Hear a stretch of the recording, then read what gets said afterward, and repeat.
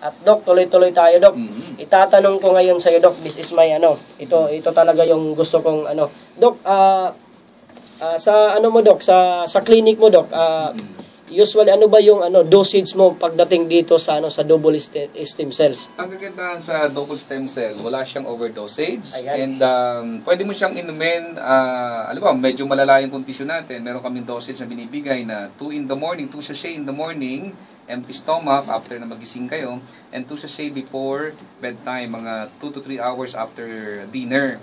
Pag naman medyo gusto niyo lang mag-kondisyon ng katawan at hindi masyadong malala ang karamdaman, pwedeng twice a day or once a day. Ayun. Ayan. Sa mga may high blood, Dok.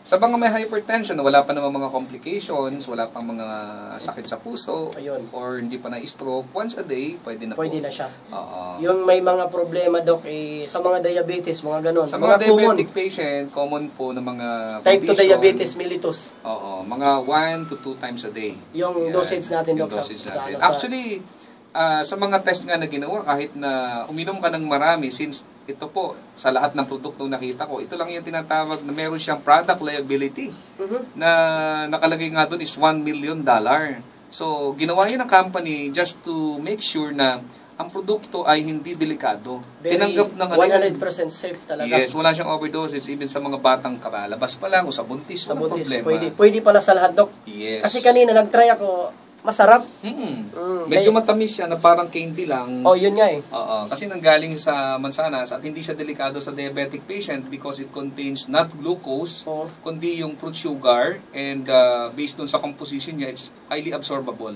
Hindi siya stevia. Hindi sa stevia, oh, hindi siya nangangailangan din ng ng insulin para Mhm. ma-process into energy kaya hindi nakaka-apekto sa sugar level natin. So, very safe sa, sa mga diabetic. Oo, at ang gumawa niyan ay Nibel Biochemistry, one of the best biotechnology laboratory in the world. Hmm, ako. Oo, kaya Sa Switzerland pa galing. Yes, sa Switzerland. Directly nagagaling yung product. Our marketing uh, headquarter is in Malaysia. And ang gaganda sa Pilipinas nung pumasok yan dito, we have a lot of medical doctors na partner. We have a partner, Dr. Sherwin Agravio, which is one of the consultant of St. Luke's Medical Center Sa Maynila. sa Maynila at siya din ay isang surgeon. Mhm. And uh, marami ng doktor ang nag-evaluate ng product and they found out that the product is safe and uh, rejuvenative. It means that if you take the product, your cells will become younger, Younger. uh, marireverse yung aging, and it will help to rejuvenate damaged cells. Kasi alam niyo, pag ang cells na damaged, kahit anong inom mo ng vitamina, hindi, ma- hindi gagaling. Unless you have a healthy stem cell that can repair the damage. The damage. So, Oo. pwede siyang mag-repair. Kumbaga, restore by replacing a part or putting Mm-mm. together what is torn Yes. or broken. Yes. tama Tapos, po. pwede pa siyang mag-rebuild, Dok. Yes, because Oo. it's stem cell. And uh, kung nandito lang si Dr. Pedrosa, ma-explain niya ng malalim na ang stem cell is the key for recovery. Yan, oh. Alam mo, nabalian ka ng buto, nabasag yung buto mo. Nagtataka tayo pag kinabit ng doktor ng ano ng opto, uh, orthopedic. Orthopedic. Aba, after a few months, bumalik na ulit. Parang Because- nagkakalaman siya doon. Yes, napupuse together because we have a stem cell that is already reserved by the body in case of emergency.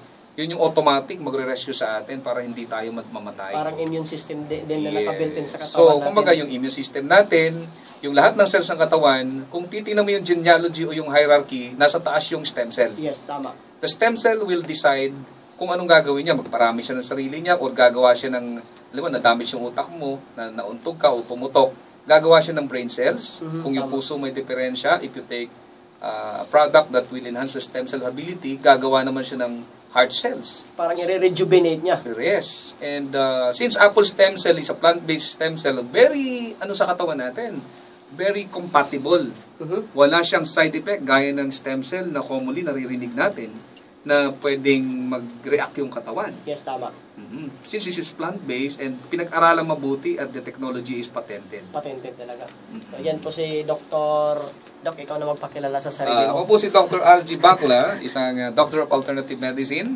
Yes. And uh, I am also having program sa aking lugar naman, sa Yes, South Doc, Luzon. i-promote mo na, Doc. I-promote mo na. Oo, kung kayo may kakilalang taga Batangas City, ah, nan- meron po tayo dyan. Sa Maynila, meron akong clinic. And in Lucena City, I have a radio program na natutuwa nga ako. Sabi niya, magre-radio. Uy, na-miss ko yung radio program ko kasi pinu- pinapunta nila ako dito.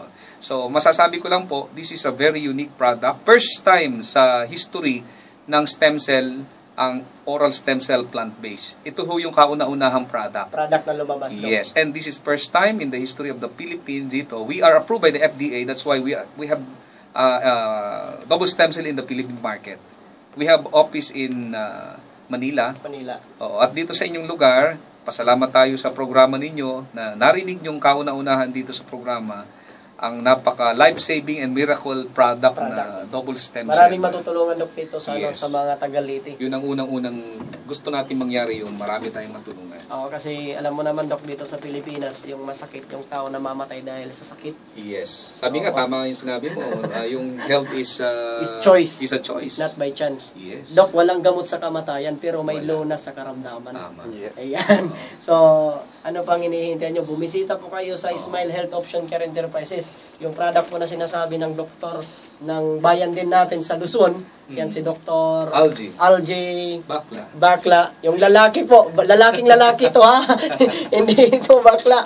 Oh, so, apelyido lang niya. So, available po yung produkto natin na double stem, stem cells rather dyan sa Smile Health Option Care Enterprises so far. Ah, pwede natin gawin tong kung meron kayong karamdaman, pwedeng maging ideal healing supplement for every type of diseases. Doc, tama? Mm, tama po. Oo, pwede. Wag natin hintayin na yung katawan natin manhina bago tayo gumamit ng mga magagandang supplement. So, tayo ay magpapatalastas muna.